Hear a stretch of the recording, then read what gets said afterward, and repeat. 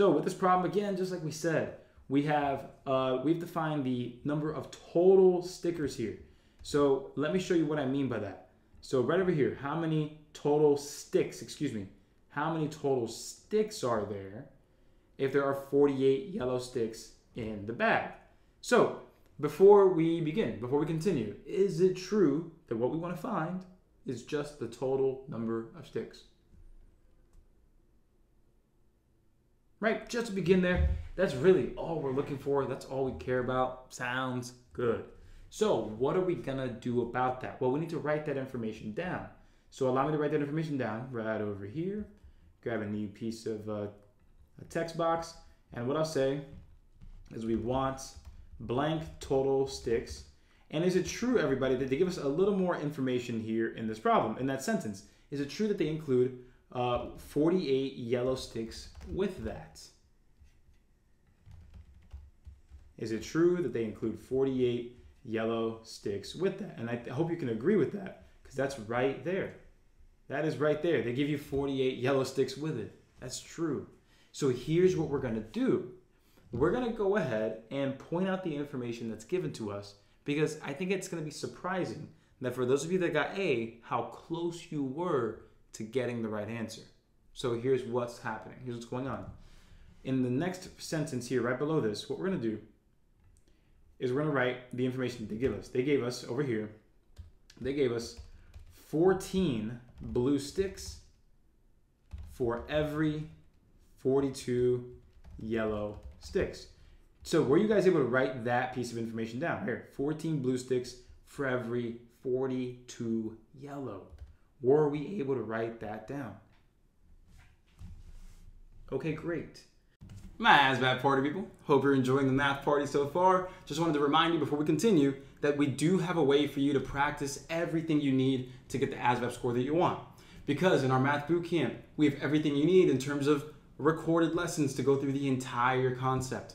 On top of that, we have guided practice, printable worksheets, and speed drills for each and every single mini concept, from adding and subtracting decimals to fractions, distance, rate, time, word problems, proportions, everything you need. It's all lined up for you and it makes learning as easy as possible. And we make updates to this course on a weekly basis at no extra cost to you.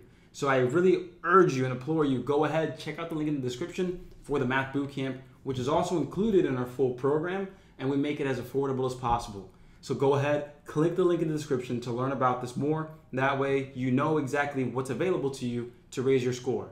I don't want you to feel test anxiety. I don't want you to feel like you're lost and you know you're just hoping for the best. I want you to take control of your studying, and the ASVAB All Access program and the Math Bootcamp are the exact ways to do it. So, if you have any questions, my contact info is also in the description. But before we continue, please check it out so you know exactly what's available to you. That way, you can feel confident that there is a solution for you. Let's get back to the video though. Let's ace the ASVAB. So, let's understand, let's understand here why the whole, hey, compare the same things in the same way. This is why that's important. Right over here, watch this. If I were to set this up now, and I were to go ahead and use another text box, I'm gonna go ahead and pop in another one. Let's do that right over, let's say here. And if I were to go ahead and make an equation, I'll use x over 48 equals 14 over 42. So let me go ahead and make that bigger, obviously, so that everybody can see. Everybody, was this your setup? Was that your setup? Did your setup look something like that? x over 48 equals 14 over 42. And yeah, you can absolutely solve this with cross multiplication, but I know that some people here are going to say no to how they set this up. But let me show you why you would have gotten what you've gotten. So everybody, for the people that have solved it this way, for the people that set it up like this, when you cross multiplied and you went ahead and did the x times 42 and the 48 times 14, when you did all of that and you solved everything, is it true that you ended up getting x equals 16? Is it true that that's what you got after it was all said and done? All right, so let me help you explain why that was the case, but that's incorrect. Let me show you why that was the case, and again, why that was incorrect. This right here is wrong. And let me show you why. Because, everybody, take a look here. The x that we're looking for here is t, we'll say, you know, we'll just say total sticks. That represents the total. So this x that we're looking for, technically speaking, represents the total. Well, guess what this over here represents? Let me go ahead and just make this a little smaller. Well, then guess what the 14 represents on the other side? That 14 represents the blue sticks. Okay, so let's write that down. Blue sticks. So my party people, what's next? The 48. What does that 48 represent? Oh, that represents yellow, and the 42 also represents yellow. So right now, the 48 and the 42, those are good. Those are fine because those are set up the same way. Everybody, do you see how those are set up in the same way here? 48 to- or 48 uh, yellow, and here it's 42 yellow. Are we good on those with the yellows? Are we good on the yellows being compared the same way? But what's the big problem?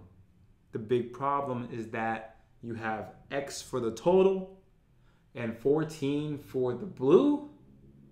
Those aren't being compared in the same way. Those are not being compared in the same way. And so the because that was like that, because it was set up like that, this is going to give you a bad time. And the bad time is this doesn't actually represent total.